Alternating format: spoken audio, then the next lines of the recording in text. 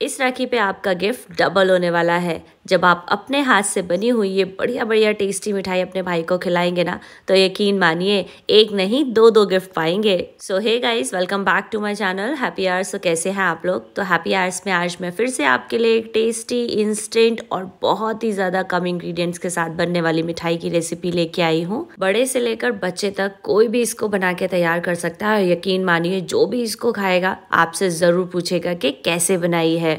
तो इस festival season पे बिल्कुल भी ये टेस्टी मिठाई की रेसिपी स्किप नहीं कीजिएगा। जल्दी से बनाइए और झटपट से खिलाइए और सबकी तारीफ़ पाइए। तो चलिए फिर देर के इस बात की रेसिपी स्टार्ट करते हैं। रेसिपी शुरू करने से पहले अगर आप मेरे चैनल पे नए हैं तो जल्दी से कर दीजिए चैनल को सब्सक्राइब और इन्जॉय करिए बढ़िया बढ़िया रेसिपीज़ को। तो चलिए फिर स्टार्ट करते हैं। तो यहाँ पे मैंने एक कढ़ाई ले ली है जिसमें मैं ऐड कर रही हूँ एक दूध आप कोई भी यूज़ कर सकते हैं घर पे रखा गाय का दूध यूज़ कीजिए फुल क्रीम दूध यूज़ कीजिए या फिर टोन कोई भी दूध चलेगा। अभी यहाँ पे मैंने गैस की फ्लेम को बिल्कुल मीडियम किया हुआ है। हमको क्या करना है इसमें ऐड करना है एक और इंग्रेडिएंट जो है शुगर तो मैं यहाँ पे लगभग आधा कप शुगर ऐड कर रही हूँ। आप घर से कोई भी कटोरी कप ग्लास ले सकते हैं मेज़रमेंट के लिए जिससे आप सारे मेज़रमेंट करें। चीनी ऐड करने के बाद हमको दूध को तब तक पकाना है जब तक चीनी इसमें अच्छे से घुल नहीं जाती। तो बहुत जल्दी ये घुल के तैयार हो जाएगा। यहाँ देखिए, दूध जो है बहुत अच्छे से पक गया है, चीनी बहुत अच्छे से घुल गई है।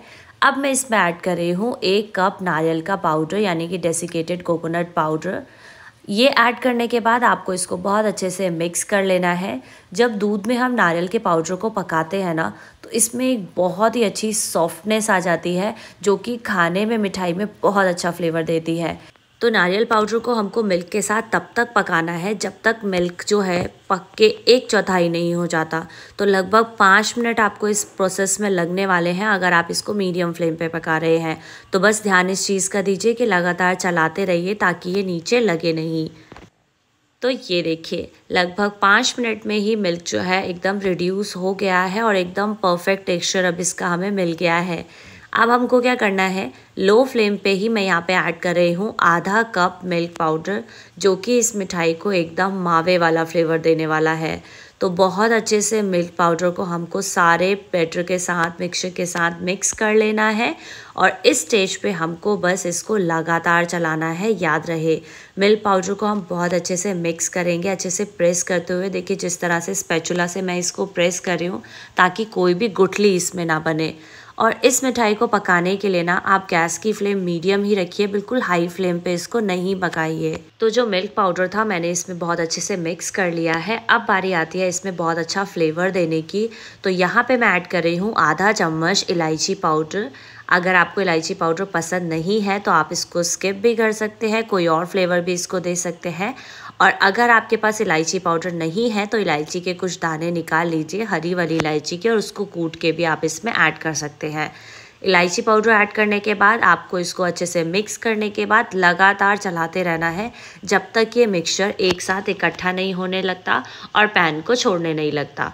तो बस आपको दो मिनट और तीन मिनट इसमें लगने वाले हैं, फटाफट से ये बन के तैयार हो जाता है। तो यहाँ देखिए, लगभग तीन मिनट मैंने इसको पका लिया है और मिक्सचर देखिए कितना अच्छा सा ड्राई हो गया है और पैन को भी अब इसने छोड़ना स्टार्ट कर दिया है।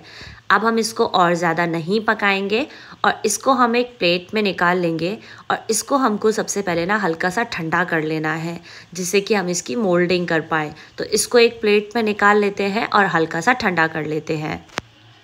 तो टड़ा, ये देखिए हमारा मिक्सचर जो है वो बिल्कुल परफेक्टली ड्राई हो गया है।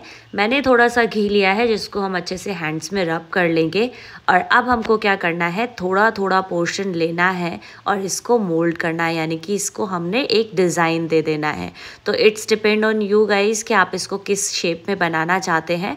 बस मैंने एक छोटा सा पोर्शन लिया है, जिसको मैंने बॉल की तरह करके और देखिए हाथों की मदद से इस तरह से मैं इसको राउंड कर रही हूँ, एक व्हील की तरह।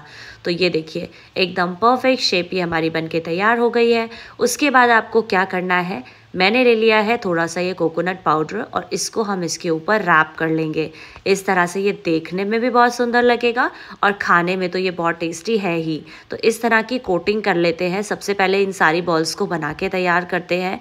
घी को हाथों में लगाने का मेन यही था कि आपका जो ये मिक्सचर है, ये आपके हाथों पे चिपके नहीं।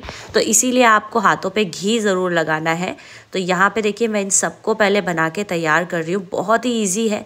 आप चाहें तो इस पर कोई और डिज़ाइन भी दे सकते हैं।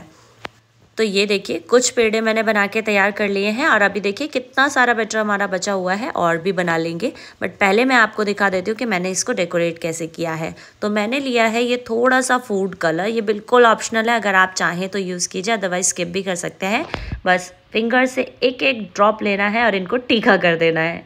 जैसे हम मंदिर में पूजा करके करते हैं ना, टीका लगाते हैं इसी तरह से इस मिठाई पर बस आप भाई समझ के टीका लगा दीजिए। तो ये एकदम रक्षाबंधन स्पेशल मिठाई हो गई।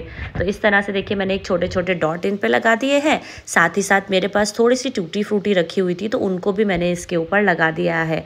आप चाहें तो ड्राई फ्रूट्स के साथ भी इसको डेकोरेट कर सकते हैं। बहुत सुंदर ये लगेगा। टूटी फ्रूटी एकदम चीप एंड बेस्ट है। आपको मार्केट में ईजिली मिल जाएगा। और देखने में ना इनका कॉम्बिनेशन भी बहुत ज़्यादा सुंदर लग रहा था। तो ये देखिए कितनी परफेक्ट अब ये देखने में लग रही है ना, जो भी इसको देखेगा ना, वो कहेगा ही नहीं कि आपने ये घर पे बनाई है। देखने में भी इतनी ज़्यादा सुंदर है और खाने में तो बहुत ही ज़्यादा टेस्टी होती है। तो ये लीजिए, हमारी मिठाई जो है बनके तैयार है। तो आई होप आपको मेरी आज की ये रेसिपी पसंद आई हो। अगर आपको आज की मेरी ये मिठाई की रेसिपी पसंद आई हो तो वीडियो को लाइक और शेयर करना बिल्कुल भी नहीं भूलेगा। चैनल पर अगर आप मेरे नए हैं तो चैनल को कर दीजिए सब्सक्राइब और जल्दी जल्दी इंजॉय करिए बढ़िया बढ़िया रेसिपीज़ को। तो चलिए मिलते हैं नेक्स्ट टाइम हैप्पी आवर्स में नई रेसिपी के साथ। Thanks for watching